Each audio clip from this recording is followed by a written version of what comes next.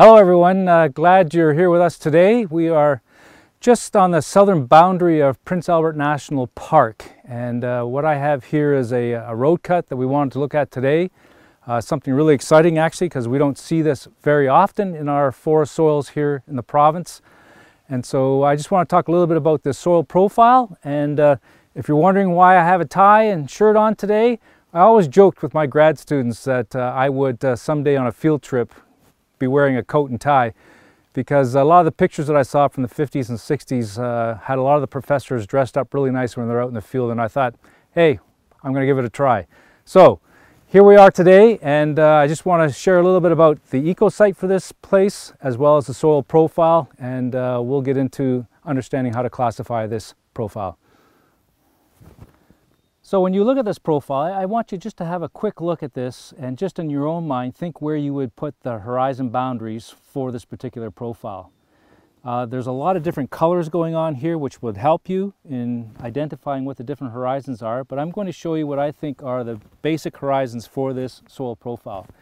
Starting at the top, starting at about here, we have this really nice darker uh, colored layer, which I would, which is the AH so this surface horizon. Then below it, we started moving into more of a reddish color. And I would actually put a boundary something like this through there. And we would call this a BM horizon. And then below this here, um, because I apply this acid to it, it has carbonates in it. And so it's fizzing. And so you know that you're dealing here with a CCA. So AH, BM, and a CCA. There's two other really interesting things about this profile that I want to point out. And one is this right here. You can notice that there is a hole in the wall of this pit. And there's some kind of mammal has a tunnel through here. And this can be really important in terms of bioturbation, the movement of soil around. I mean, a lot of times we'll have gophers and stuff that'll bring uh, soil material to the surface, which can alter then soil development. But again, uh, you notice this in the soil profile that we do have a hole here from probably some kind of mammal, mole or whatever. But the other thing I want to point out is this really light region right here going through the profile. And if I put the acid to it, it just really has a lot of carbonates in it. A lot of carbonates.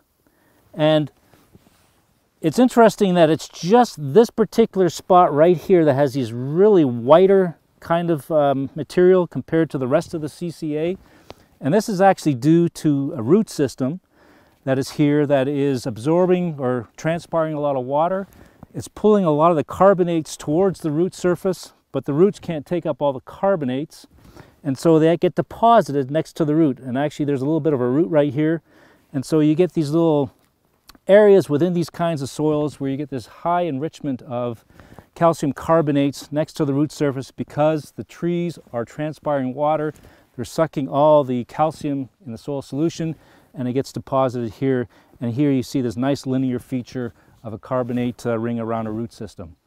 I just want to talk a little bit about the uh, eco site for this particular spot. Again, we are on the southern edge of the boreal forest and uh, we're dealing here with a Chernozemic soil. But if you look at the vegetation in the background, you can see a lot of trembling aspen, a few balsam poplars, and some white spruce. And if you go through the ecosite key here, we would actually be in the deciduous ecosite key with a stand that has uh, greater than 30% of trembling aspen. And when you go through this key, it ends up being a BP6. And if you turn to that in the book, it's a trembling aspen beaked hazel sarsaparilla ecosite on a fresh loamy sand. And so this is very characteristic of these kinds of sites with trembling aspen, a little bit of uh, white spruce in the canopy, but you find a lot of beaked hazel and other kinds of herbs and uh, shrubs, but this would be classified as a BP6. And if you think about what we've seen uh, some other times in terms of being in a jack pine forest, there's very little vegetation in many of those jack pine BP2, BP3 ecosites. And if you look here, there's a great diversity of uh, herbs and shrubs and trees. And a lot of the reason for that is the relationship between this vegetation and the soil pit. This soil pit will hold, this soil here will hold a lot more moisture. And because of that moisture, you're going to have increased amounts of richness in terms of vegetation on this particular site. I just want to go over the classification of this soil pit. Again, just to refresh your memories, we have an AH, AHE that's about 20 centimeters thick, a BM horizon here that is about 50 centimeters thick, and then we have our CCA starting at about 70 centimeters. And so in order to classify this Chernozem, we need to know what the color is of the AH horizon. And so I've already taken a sample, dried it down, and used the uh, color chart to do that. And it turns out that when we do the color on the dry soil, we're dealing with a value of anywhere between three and a half and four and a half, and a chroma that's about one and a half, maybe almost two, but um, and because of that, this classifies out as a dark gray great group. And then because the BM horizon is greater than five centimeters, this would actually end up being an orthic dark gray Chernozem. So here's a close-up of the three different horizons, your AH, your BM, and your CCA. And uh, if you look at this closely, I've dried out some samples here on the right-hand side, and just to get an idea of texture. And when you actually do the texture for this, this actually turns out to be a loamy, uh, very fine sand, actually for all three horizons. And so uh, very fine particle material, particle material, and you can see again, just to give a close-up demonstration of the acid, you can see how effervescent it is in terms of fizzing with the reaction of the acid with the uh, calcium carbonates. Now, because this is a very fine texture, uh, the parent material for this particular area would be glacial fluvial. And so this particular area, because there's no rocks in the soil pit, um, this would be a glacial fluvial type parent material. Let's just talk about the forest floor classification here, the humus classification. And again, on the surface here, we have a little bit of litter, which would be your L, but the rest of the material is kind of all incorporated into your mineral soil. You have a lot of roots and stuff in here, and because of this AH horizon, we're dealing with a mull humus form, which means that you've got your, all your forest floor organic matter embedded into your mineral soil. So a mull humus form for this particular profile. In terms of soil drainage for this particular profile, um, we've done the texture and we said it was a loamy, very fine sand.